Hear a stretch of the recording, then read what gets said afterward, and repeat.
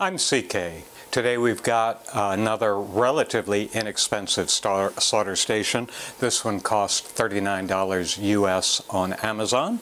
It's from ToAuto. It's their soldering station, making simple with the tool rest. We'll take a look at what we get in the box, set it up, see how it solders, and I hope you enjoy the video. The box what I said on the other side, it's uh, this is a DS90BU. I don't know what the differences are. It's 110, 90 watts.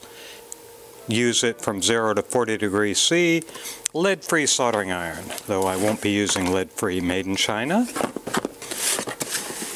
Let's see what we got inside here. We've got, ooh, six-month warranty. Well, that's okay.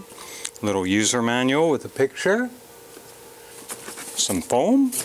Put that over here, and my garbage can's in the wrong place again. Let me go get it.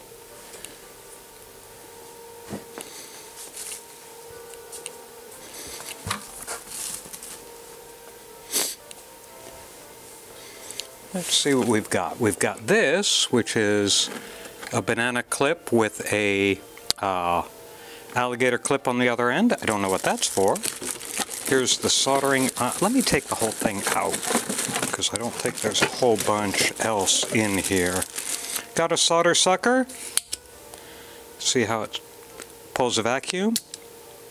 Oh, pulls a vacuum just fine. Probably not going to be my favorite one, but it's something.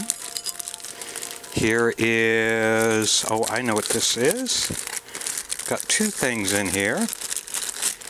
We've got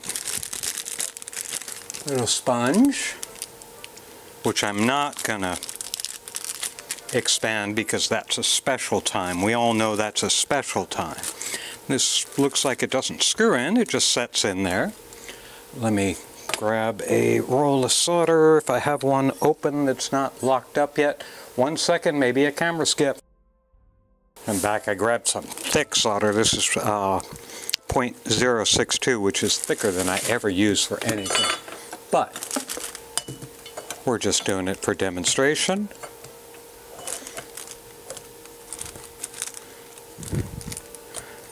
Getting it on here. There we go. And it pulls out like you would expect. Nothing particular start, particularly startling there. Let's take these other two bags off. I'm going to undo the power cord twist tie. And the critical thing is there, did they do it the right direction? And they did. Sometimes people twist the ties backwards and it drives me frantic. So that's the solder station. We've got some junky lead-free solder, even though it's pretty thin. 0.8 millimeter, that's pretty thin. That's nice enough for that. I may try that pair of tweezers. Again, they're, uh, as I've seen before, they're coated in black material, but they are not labeled as ESD safe. Got five more soldering tips, the standard assortment, some chisels, a very fine point, and some other things. I just stick with what I've got right now on there. And we'll take this apart. Again, another twist tie to take off get the box ready for recycling. Now we'll plug this fine fella in. And we've got here, we've got a copper tip cleaner and lost my hat.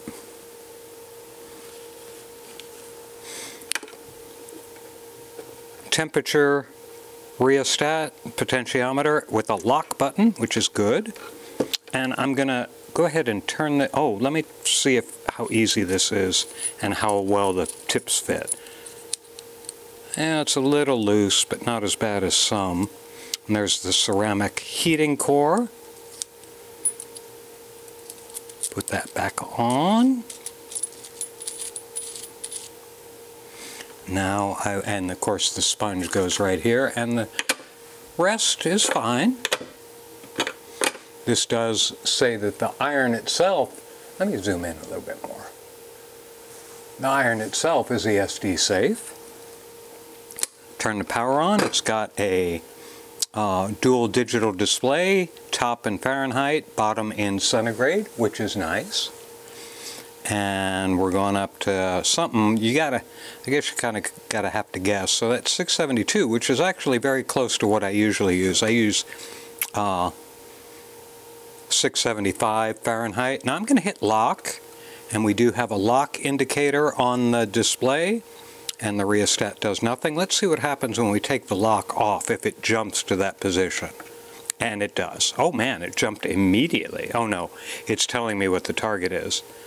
So this tells me what the target is too. Let's go to 716, and now it's climbing back up again. I heard a relay click inside for a minute, so we'll go back to 675 or so. Now the important part, let's grab something to solder. And this has got one lead that I haven't soldered yet, so I'm going to get a smaller piece of solder. I'm not going to use, oh, by the way, this goes, this can screw in there, though Hold on, I tossed the box away, of course, but let me double check because, huh, I do not see any screws to put that on with. Didn't come with screws. You have to find your own machine screws to go in there. Uh, I'll take a look at that in a little bit after I solder something. So I'm going to move that back. Hopefully it's in the range of the other camera. But we'll move over here and we'll do a little soldering. First I'll tin the tip a little bit. Ooh, it's very hot. That solders just fine. Now I'm going to do my critical test for these kinds of things and see if the soldering pencil pen is or cable is high temperature silicone and won't melt when I rub the soldering iron tip against it? Oh, it's not. It's regular polyvinyl so it does melt. So when you're using this, you have to be really careful you don't accidentally set your soldering iron on the cable and that can happen. Uh, when you're doing something fast or checking something and you set it down, that would be bad because it'll burn through or melt through to the inner core wires. So be careful about that. That's a slight down check on this. Now what I'm going to do is I'm going to go grab some machine screws and see. Let me get a look in here.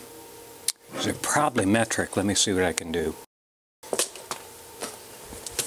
I'm going to turn this. Oh, by the way, let me just try the solder cleaner. Ooh, that's stiff, but it works okay. And then there's a holder here, row of holes to put your other soldering tips on. But I'm going to turn this off again. And let's see, let's try an M3 first. Because that feels like this what this might be. Wow, it's deep, isn't it? Get a bigger M3 out.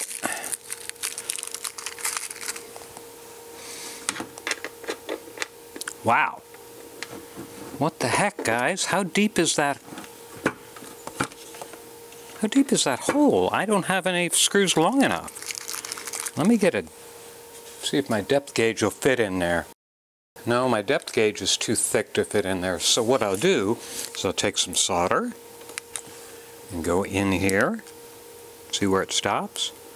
It doesn't stop. What the heck? Maybe you want self-tapping screws in there. Well, that would be not great because you're going into plastic. But I'm not even going to try then because basically if they're self-tapping then it's going to work for anything. Uh, you can, I mean almost anything, you can figure it out. And then we've got a, oh, I see. So this cable here, which I'm not going to undo, allows you to plug in the back and connect the alligator clip to the piece you may be working on uh, to ground it. or to a ground on your workstation. So that's it. It's certainly serviceable. The heat control seems very easy to use. The lock is nice so you don't accidentally bump anything. It's reasonably light. I don't like the fact that these are self-tapping screws. Uh, and I also don't like the fact that they don't give you any because that's kind of defeats the purpose. You can set this over next to it, but it's going to be all, it'll rock over and so on. Actually, it didn't, did it? It stayed very stable. Uh, but I would like, it does have holes in the bottom so you can put, oops, and the, ah, sorry, I tilted it and the little end cap came off. Huh. If I were going to use this full time, I'd probably glue those in place. But that's it. Uh, it's the ToAuto soldering station for 39 bucks US. It's not bad. It's not great. Uh, you can probably, if you look at other soldering stations I've looked at, you can probably find something you might like better for a little less. I'll leave a link to the playlist, I think, if I can figure out how to do that, uh, in the description so you can look at the nine other units I've looked at. And I hope you enjoyed the video.